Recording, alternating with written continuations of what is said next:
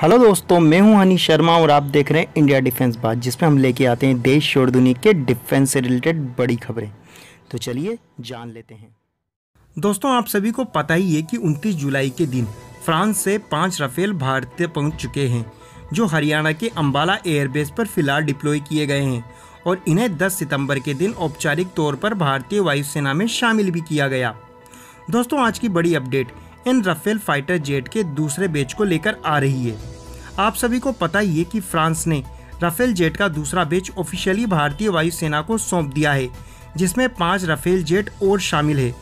और दोस्तों, यह पाँच राफेल फ़िलहाल फ्रांस में भारतीय वायुसेना के पायलटों की ट्रेनिंग में काम आ रहे हैं। दोस्तों, इन्हीं पाँच राफेल को लेकर पहले खबरें आई थी कि हो सकता है कि इन पाँच राफेल में से तीन से चार राफेल अक्टूबर के मंथ में भारत पहुँच जाएँगे। लेकिन दोस्तों, अभी अपडेट आ रही है कि यह राफेल नवंबर के फ़र्स्ट वीक तक भारत पहुँच जाएँगे। इस तरीके से भारत के अंबाला एयरबेस पर राफेल फाइटर्स की संख्या पाँच से बढ़कर नौ से दस तक पहुँच जाएगी। और दोस्तों, इसी को लेकर भारतीय एयरफोर्स पूरी तरीके से तैयारियों में जुटी हुई है।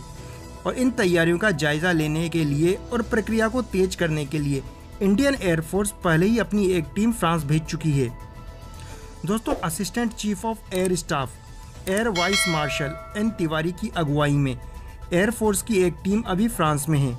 यह टीम वहाँ रफेल लड़ाकू विमानों की दूसरी खेप को भारत भेजे जाने की तैयारियों के साथ। रफेल पर लगने वाले ज़रूरी वेपन्स और इक्विपमेंट की जाँच और भारतीय पायलटों की ट्रेनिंग की समीक्षा कर रही है।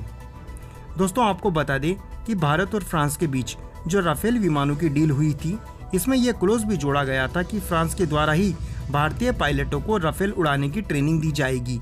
और दोस्तों, यह प्रक्रिया क्रमबद्ध तरीके से एक के बाद एक पायलट को ट्रेन करने के साथ आगे बढ़ेगी, जो कि मार्च 2021 तक चलेगी। और दोस्तों, उसके बाद के सभी भारतीय पायलटों को भारत में ही भारतीय पायलटों द्वारा ट्रेन किया जाएगा, जो पहले ही फ्रांस में ट्रेनिंग प्राप्त कर चुके हैं। सभी 36 राफेल लड़ाकू विमानों के मिल जाने के बाद एयरफोर्स इसके एक स्क्वाड्रन को हरियाणा के अंबाला और एक स्क्वाड्रन को पश्चिम बंगाल के हाशीमारा एयरबेस पर तैनात करेगी।